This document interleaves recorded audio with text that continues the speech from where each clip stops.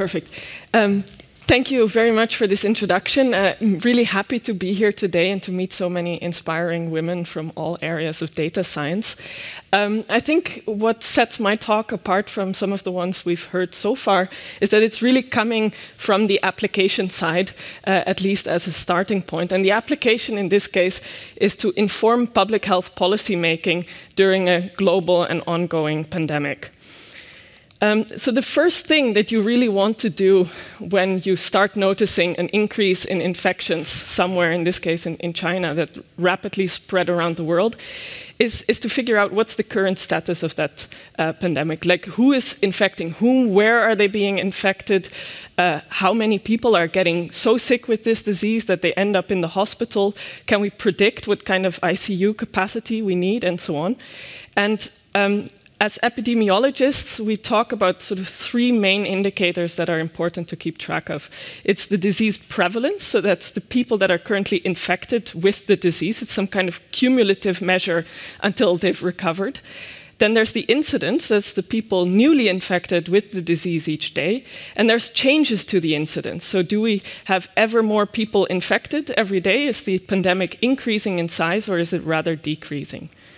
Um, I like to compare this to a PID controller where we need some proportional, integral, and uh, derivative information on the current transmission processes uh, to be able to control also what kind of target value we want to reach. And this target value is in the hand of policymakers.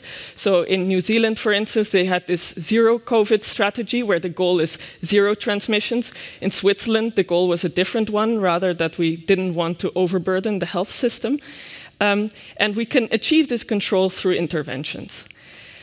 My role in all of this was not to determine those interventions, but rather to uh, uh, supply the information necessary to do so, supply uh, information on the status of the pandemic and specifically these changes to the incidence. So we study here the effective reproductive number, RE. You might have heard it, it was uh, in many newspapers all the time. Um, and it describes the average number of secondary infections caused by a primary infected individual. And it's an intuitive measure in the sense that if this is above one, each individual infects more people and the epidemic is growing, whereas if it's below one, uh, the epidemic is shrinking in size.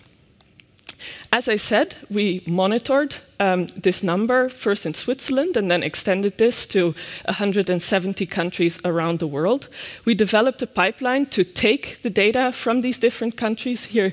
Now, after two years of pandemic, that's two years of time series data for these 170 countries and different sources of information also, both on the number of positive tests every day, but also people getting hospitalized with COVID or dying with the disease. Um, we developed a pipeline to estimate the effective reproductive number from this data, and then also a dashboard, a Shiny app, um, to communicate uh, this data um, to the public and, and to policymakers.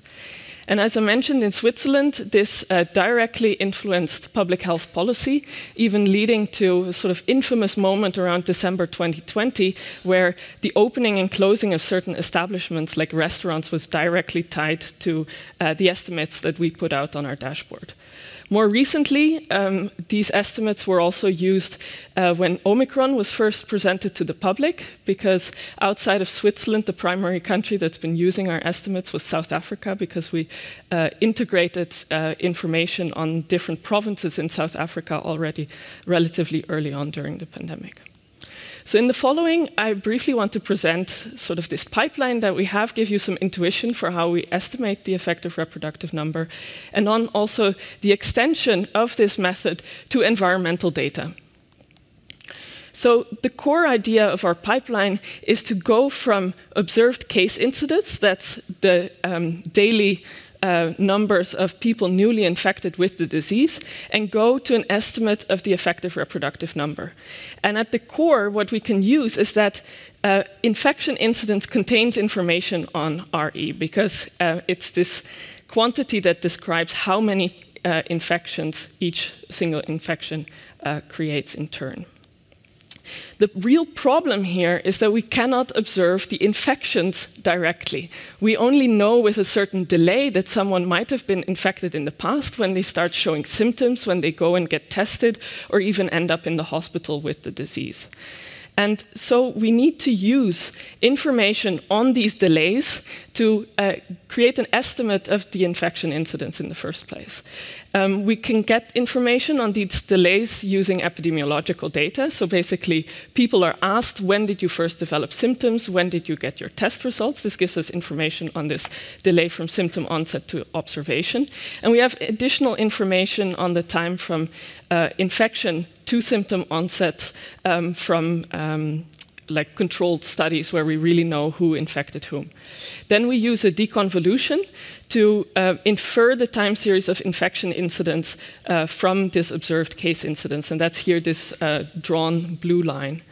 When we have that, we can use existing methods to estimate the effective reproductive number from the infection incidence. This was a problem that was already addressed during previous pandemics, sort of Ebola uh, and things like that.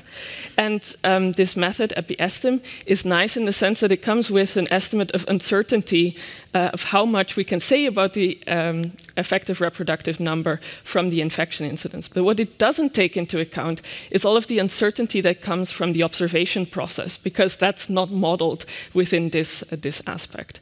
So that's why we added an additional step where we bootstrap the case incidence data um, using block bootstrap and basically repeat this process a whole bunch of times and, and create more realistic confidence intervals. Because, uh, especially when uh, giving advice or trying to provide information that policymakers base their decisions on, it's really crucial to have a good estimate of the uncertainty. Maybe it's even more important than that your point estimate um, is, is exactly correct.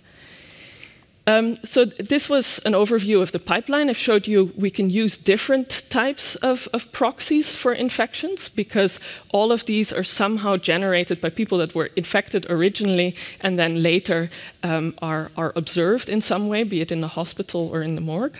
Sorry, that was macabre. Um, and uh, we, we now um, developed this as an, an, R package and made it available to the public. The good thing about having these different proxies is that each of them is biased in a different way. So, for instance, uh, when tests are hard to come by, um, people that end up in the hospital might be prioritized to be tested for whether they have COVID or not. So, the hospitalization numbers are less biased than the testing numbers themselves. But all of these numbers are still collected within the healthcare system. So, if we have a complete collapse of the healthcare system, um, like during the, the second wave, we were pretty close to being completely overburdened, um, then all of these measures might be biased in a similar way. And that's where this idea of using environmental data comes in, because it's an independent proxy of what's going on. Already relatively early during the pandemic, uh, environmental engineers primarily um, found that uh, the virus SARS-CoV-2 could be detected in wastewater, and that if you measure these viral concentrations over multiple days and weeks, actually the uh, resulting measurements quite closely match uh, the infection incidence. And that's because every person that's infected with the virus, they will shed this virus into the wastewater in an inactivated form, don't, don't worry. Um, uh, and basically when they go to the toilet, when they brush their teeth or, or whatever. And this then gives us a nice mapping sort of back to what this underlying um, transmission dynamics were. And when we learned this, we thought, okay, we should actually be able to estimate again this infection incidence from these wastewater data and use it to estimate an RE just based on this environmental data source. And really, the core question there is how delayed is this wastewater signal now with respect to our uh, original infections? Um, in contrast to the um, case incidence data, where we have sort of a population level distribution of delays, each person takes X many days to get tested, we now have individual level distributions of shedding. So perhaps uh, five days after infection, you'll shed more virus into the wastewater than 10 days later, simply because your body is, is fighting the infection. And Um, this shedding load distribution can be measured, um, and it was measured in sort of clinical studies in different ways. Um, and we can use that information then to do our deconvolution in this case. Again, we care about the temporal dynamics now. We don't care about the absolute magnitude of shedding um, be because we need to, to scale all of these properties anyway. Um, and with that, we managed to estimate an RE from um, wastewater data. Um, we already showed that in a paper on data from Zurich and San Jose in, in the US. And since more than a year now, we also monitor this actively in um, six different locations, uh, wastewater treatment plants throughout Switzerland. This here is a um, picture of the dashboard we have um, to show that, developed by my master student, Taru Singhal, who is also here today. Um, and uh, we're planning to extend this to even more locations because now the um, um Swiss uh, Bundesamt für Umwelt and whatever um, environmental um, things has uh, seen sort of the value of this data and extended this, this program to, I think, around 100 wastewater treatment plants throughout the country that are monitored uh, quite regularly for SARS-CoV-2. And then the idea is to also um, do that for other diseases in the future, um, where we hopefully can use these similar techniques to say something about the transmission dynamics. Um, so yeah, I have a little bit more time left than I, I thought I would, so I'll jump to sorry, one extra bit that I wanted to show you is how we can also integrate genomic information on top of the rest of this framework. Um, so my colleagues um, in um, the computational evolution group have been really instrumental in uh, rolling out uh, a sequencing program um, of SARS-CoV-2 in Switzerland during the pandemic. So that started with uh, the no, like the the swabs that everyone takes um, to, to see whether they're positive or not. You can take the material from these swabs, sequence it, and determine, for instance, which variants um, the person was originally infected with. And um, more recently, now that we're doing more wastewater work, we've also started sequencing the wastewater and can similarly detect which variants are in the wastewater in which proportions. And um, yeah, you all know probably that over the last two years, actually, a lot of the, or no, the last year, a lot of the dynamics of transmission have been governed by these different variants.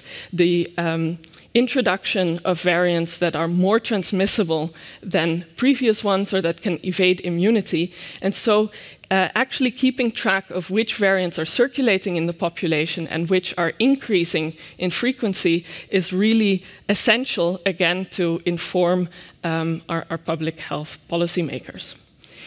Um, yeah. And we've used this information to then also estimate uh, variant specific effective reproductive numbers. So basically, uh, the trick is that if you have a proportion of um, all of your infections that corresponds to a particular variant and you have the number of infections on a given day, you can get estimates of variant-specific incidents and similarly apply this pipeline to get variant-specific effective reproductive numbers.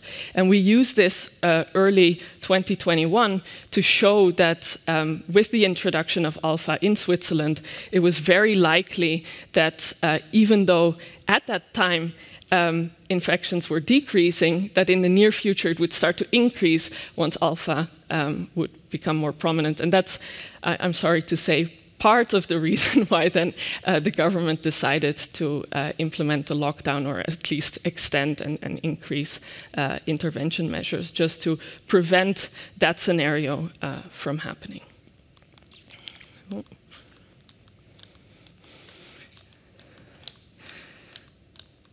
So with that, I come to my conclusion um, that we've developed this pipeline to estimate the effective reproductive number. We've used it on a variety of different uh, observation sources, including wastewater, and this can then be used to study um, the effect of interventions uh, or of variants on transmission dynamics, um, and also inform uh, the public health response to SARS-CoV-2.